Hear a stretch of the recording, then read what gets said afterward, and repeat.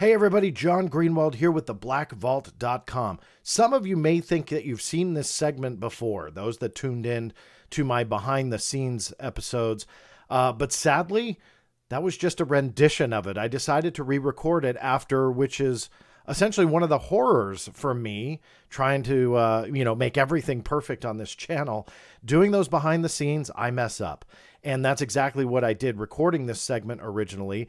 I was answering questions in between uh, some of the segments that I was doing, and I left on a question that had nothing to do with the documents that I'm about to talk to you about. I left it on screen for about half the video. Um, I just get so into talking uh, about various topics, but also I don't look at the screen that it's recording on. I use different monitors here in front of me, and I just didn't realize it. So, stupid me. That is the ridiculous nature of behind the scenes, uh, but it is fun nonetheless. So, if you're joining me and you're seeing this again for the first time, uh, welcome back. I appreciate it. Uh, if you have no idea what I'm talking about with those behind the scenes, you'll see a playlist here on the Black Vault's YouTube channel.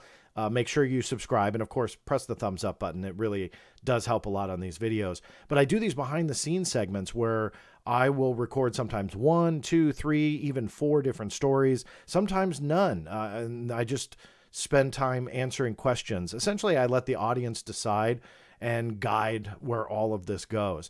Uh, but I do have a lot of fun with them, and we always get into fun banter, uh, a lot of which the content only stays in those behind the scenes shows. So make sure that you do subscribe and tune into our next one. But let's just go ahead and get right into the the article here and these new documents, which were a lot of fun because I really didn't expect them, if I can put it that way, simply because you, you kind of get used to certain formats or certain types of documents that come out, especially when it talks about UAP. But never did I really expect internally that they'd be recognizing the tic tac, as most of the general public refers to it, that, that UFO sighting in 2004 uh, that involved the USS Nimitz. It's been obviously all over the news in this conversation about UAP and UFOs for the last five plus years. But I, you don't really see a whole lot of banter about that within classified, formally classified documents that are released to the general public. Now, I want to go ahead and give credit where it's due. This is a great researcher. If you don't know uh, who this is, definitely follow him on Twitter. Uh, his name is Kyle Warfel. He use, utilizes the uh, Freedom of Information Act. He reached out to me. He got one of the documents I'm about to go over uh, through one of his requests. And uh, I was surprised uh, because number one, I had never uh, had seen it before, and the National Reconnaissance Office had talked about this prior to where they didn't really have many UAP related documents. So it surprised me, uh, number one. Uh, but number two, and we'll go over this, what Kyle received was actually not the only document that has been released under the Freedom of Information Act now. So thanks and credit to Kyle for number one his FOIA request and and being a go-getter uh, uh, researcher and investigator. Uh, but on top of that, it really motivated me to dig in to exactly what Kyle had got and realized that there was much more to the story. Now, what story is that? Well, it involves a highly classified National Reconnaissance Office uh, program called Sentient. Now, describing Sentient becomes a little bit of a challenge just simply because there's not a whole lot known about it. But there was one journalist who really dug in on it when it first surfaced in 2019. There was no connection to UAP at the time, and ironically, you've actually seen her on this channel, journalist Sarah Scoles, who writes for various publications. Uh, this particular article was published in uh, The Verge. And she wrote a big expose on sentient. And again, there's very little known about it. But here's her description of what sentient is during, uh, or in, as she used it in that article, I should say. Sentient is, or at least aims to be, an omnivorous analysis tool capable of devouring data of all sorts, making sense of the past and present, anticipating the future, and pointing satellites towards what it determines will be the most interesting parts of that future. Now, that's a heck of a mouthful to describe a classified NRO system, but that is uh, uh, essentially what this thing is. So, I was incredibly intrigued by then what Kyle had sent over to me, which was a PowerPoint presentation about a UAP sighting that was referenced just like the Tic Tac. And they use those words Tic Tac. Now, let me go ahead and pull up some of the documents that, that I then dug in on what Kyle got and realized there were actually more that were released by the NRO. But when I say quietly, I mean quietly. I looked far and wide. The NRO put these on their website in a very kind of confusing, convoluted way of once they release records, it just goes in like this massive list of of documents. It's very cool, but you have to have a lot of patience to go through it and figure out exactly what is where and where is what. Uh, because it, it does get a little bit confusing because it's just kind of a mishmash of all these different releases on all sorts of different topics. But what I realized with Kyle contacting me was that there was this sighting on 6 May 2021 of a UAP by the Sentient System. Now, here's one of those documents that were released, and I'll go over two of the PowerPoint present presentations and then some emails. But you can see here, and I'll go through it at, and it gives the full time in Zulu 6 May 2021. Sentient redacted image processing detected a possible airborne object 78 kilometers southeast of, and they redact that location for obvious reasons. They don't want us to know where they're essentially watching. The object was small, less than 10 meters, and did not match the visual signature of typical aircraft detections. The object did, however, vaguely resemble similar detections of airborne objects by U.S. Navy aircraft and surface vessels in the blank operating areas, unidentified aerial phenomena in parentheses. Now, why that redaction is there, I'm not really sure. We know the detections, or at least the, the the, the very publicly known ones, off the coast of the the East Coast in Virginia, I believe it was, uh, but more famous the ones off of the coast of California. So why they couldn't name those operating areas, I'm a little surprised. Uh, but it could just be the reviewer themselves not knowing that that was known to the public and just went uh, went ahead and redacted it. Going on to the bullet points, there is a rough similarity to the previously reported tic tac shape. So, interesting line there because, again, you don't see a lot of the tic tac references in documents that have come out. There's been some leaked ones. I would argue those leaked ones were not official government documents, but that's another video. Uh, but you don't, you generally don't see this generally. So that was a, a very cool find to see that they are recognizing the Navy sightings the tic tac shape, and the fact that they are unknown. The object was likely not a sensor artifact or focal plane anomaly, although more in depth imagery analysis is warranted. Very cool line there because, quite simply, a lot of people would then lean towards those skeptics and debunkers out there that this was some type of sensor anomaly, but rather this was an observation that they connected to other Navy observations and were ruling out sensor artifacts or focal planes. Even though they say that more in depth analysis is warranted, maybe giving leeway to it possibly being an anomaly, sit tight because that one will likely be put to bed for you here in the next uh, few moments. There were no correlating tracks present in redacted reporting, nor was there any correlating ELINT or SIGINT in also redacted reporting, despite time coincident redacted access slash collection. Obviously, a little bit difficult to figure out what systems that they're referring to. Obviously, classified ones they don't want to um, talk to you about, and they were saying that there were no correlating tracks, so maybe those systems didn't pick it up for whatever reason. Sentient detections did, however, detect the presence of the prob, and then a bunch of redaction there, in the same imagery 25 kilometers to the west. In recent reporting, the redacted has been associated with command and control or what they what they call a C2 activities as well as more traditional telemetry and space functions. The simultaneous presence of this high interest vessel is notable, although possibly merely coincidental. So, still makes it very difficult here with the redactions. Quite possibly, they're referring to some type of command and control activity. Is this a surveillance drone of some kind? Is this some other type of equipment that's associated with, with whatever that high interest vessel is, as referred to here? Let me see if I can zoom in just a little bit more there for you. Sorry, guys. Um, but there's the high interest vessel uh, quote. So, was it a coincidence? Is there some kind of connection? NRO didn't know, but it was worthy of obviously uh, talking about. Confi- this this was an interesting line. Confidence is relatively low in this detection, but the potential linkage to similar phenomenon off of redacted, obviously a location, may warrant further further investigation. Now check this out. Here's the next couple of pages. Page denied, denied, denied, denied, denied, denied. Look at all that.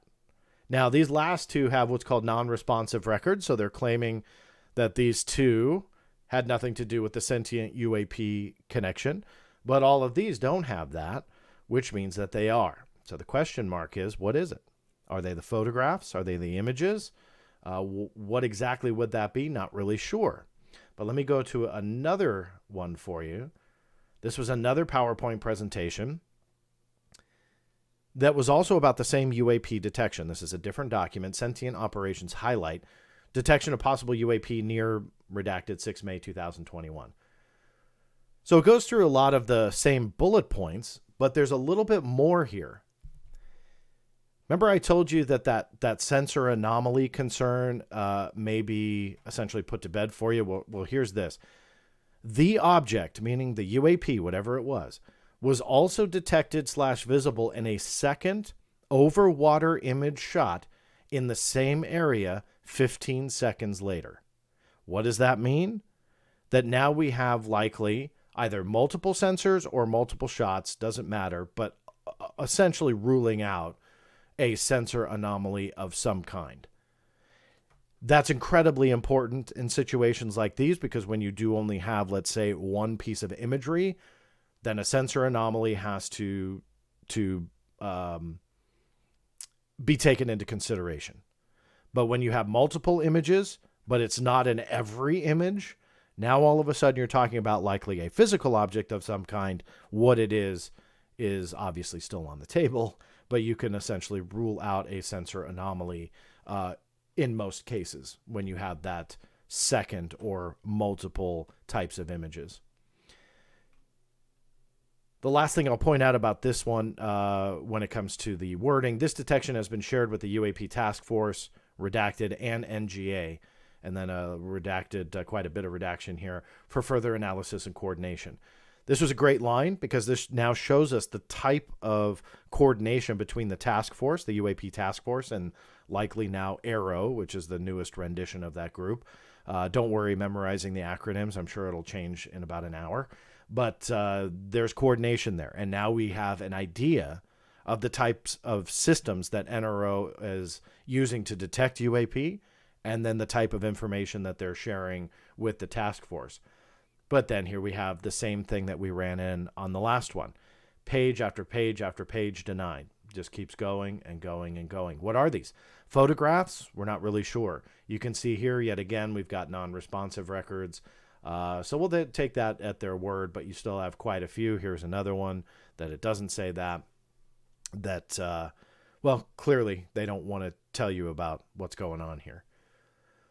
Conclusions and way ahead was one of the final slides. Yes, there was some um, what they considered non-responsive records, but the one of the final slides with content anyway in the presentation. Conclusions and way ahead there are a range of potential hypotheses regarding the identification of the object, none of which can be completely ruled in or out at this time.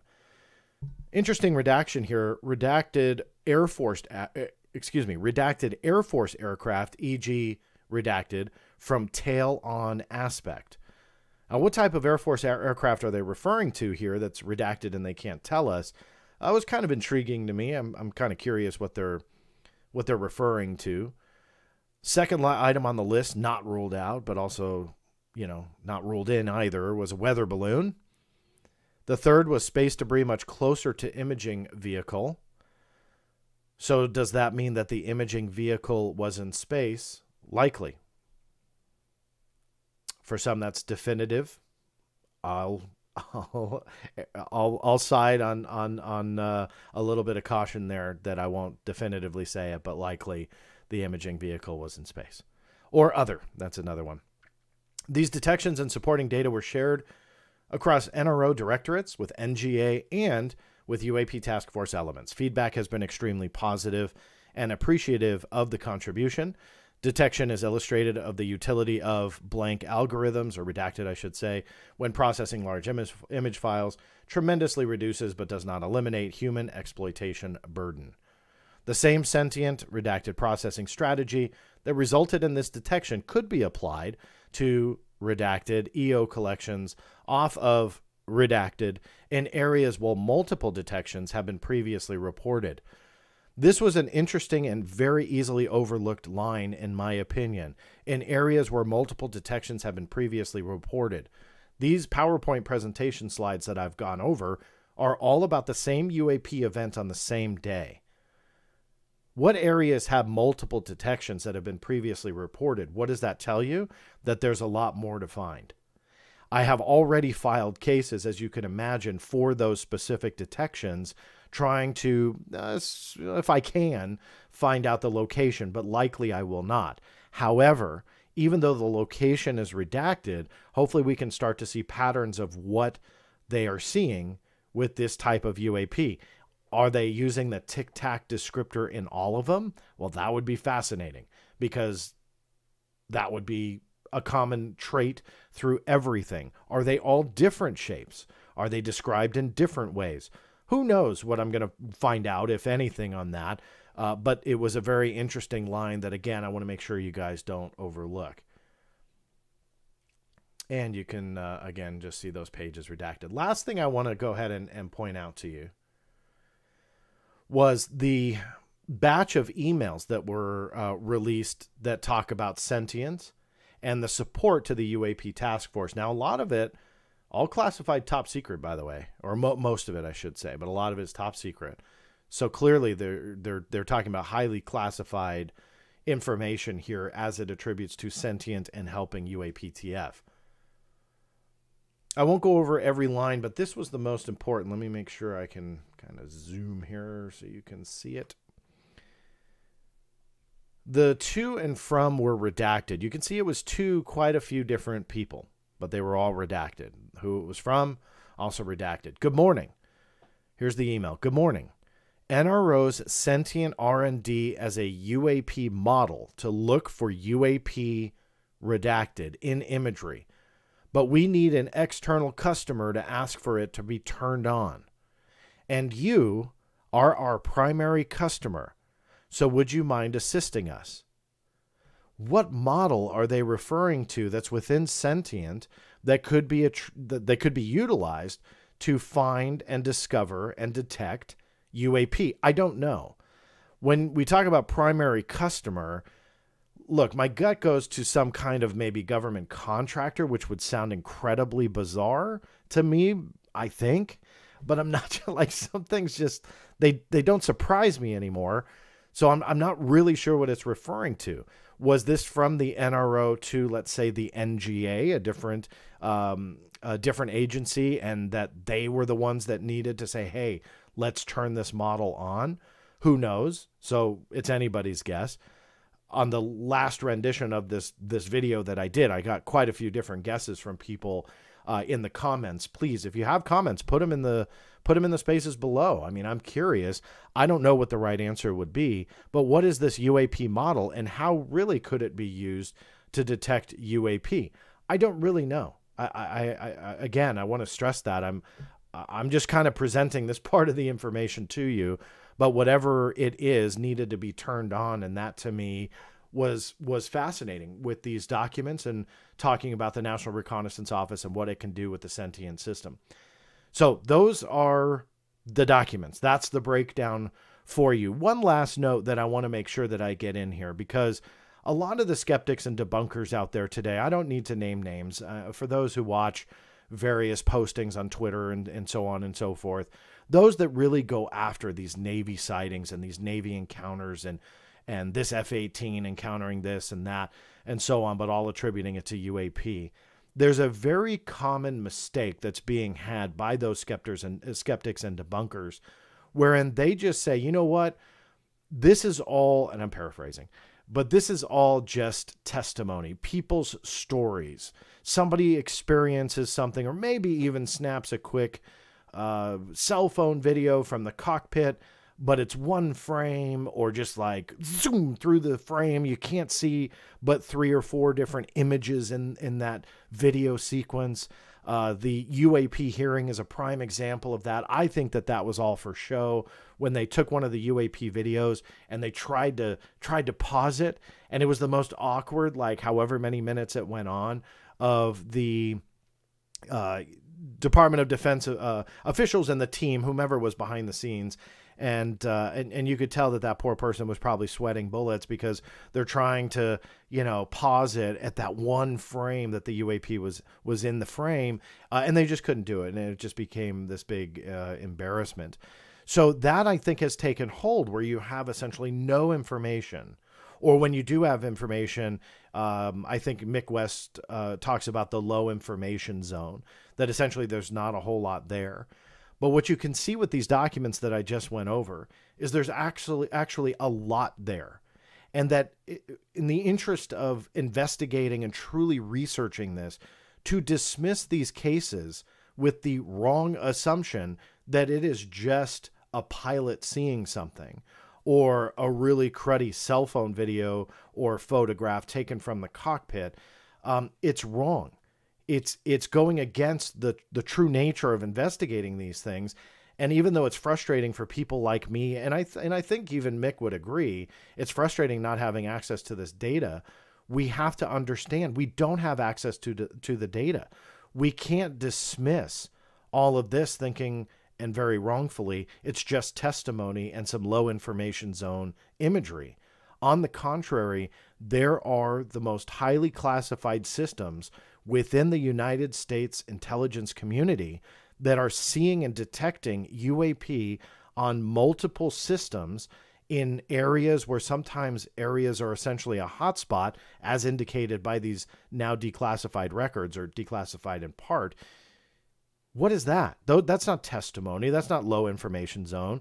Even though it sounds like they acknowledge they need more work, there needs to be more analysis there's a lot more data here that we are not privy to, and we have to remember that. So if a pilot comes forward and maybe it's just their testimony, and maybe they even believe it's just their testimony, these documents prove that there is a possibility that somebody higher cleared than that pilot, somebody who's working behind the scenes in this uh, classified effort to investigate UAP, that they will have access to different systems to different platforms that captured one or two or multiple observations of that same object. So to the pilot and the skeptors and debunkers, it may be just that pilot to them.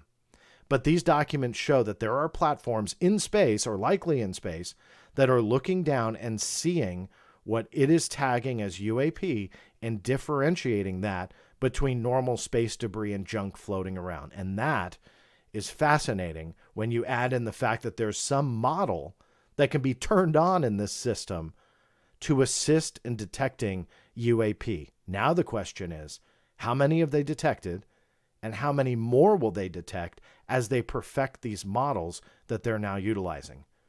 Your guess is as good as mine. Put your comments below. As I said in the beginning of the video, a thumbs up is a huge help and the biggest help of all share the word about this channel if you feel it is interesting. That said, thank you so much for listening and watching. This is John Greenwald Jr. signing off, and we will see you next time.